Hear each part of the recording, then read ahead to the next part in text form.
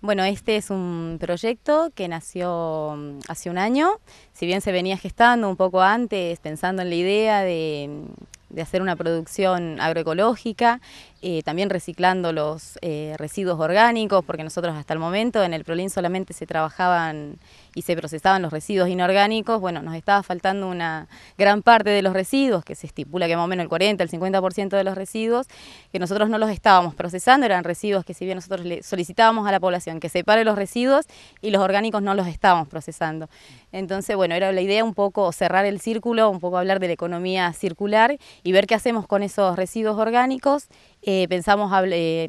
en, trabajar lo que es todo el compostaje, el lombricompostaje, y bueno, eso habría que utilizarlo en algún lugar y surgió lo del proyecto de, de la unidad hortícola, que si bien es fue presentado por una ordenanza municipal del año 2014 eh, de creación de la segunda unidad hortícola del partido, se complementó y bueno, se decidió hacer, eh, llevar a cabo el proyecto. Cuando asume Paco y mm, Miguel Mulán y Ezequiel Adolfo, eh, se les presentó el proyecto, les interesó y bueno, dieron todo su apoyo, se convocó a provincia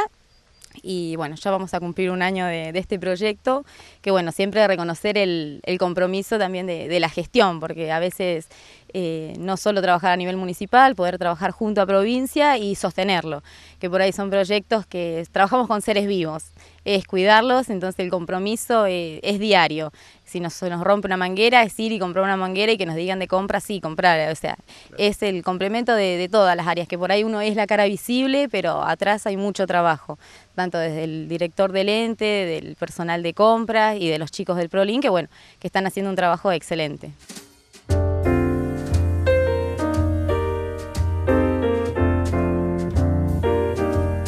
Eh, los chicos, bueno, a la mañana lo que hacen es el procesamiento de, los residuos y a la tarde se dedican todo lo que es la producción hortícola, que lleva, lleva su trabajito, es, sacar yuyo, es sembrar, nosotros tenemos la plantinera, tenemos la compostera, eh, tenemos todo lo que es la producción a campo, en invernáculo. Y bueno, en verano es cuando se nota más la, necesidad del trabajo y, y venir a regar, feriados, domingos, así que bueno, sí, se ha logrado, se ha logrado un gran compromiso.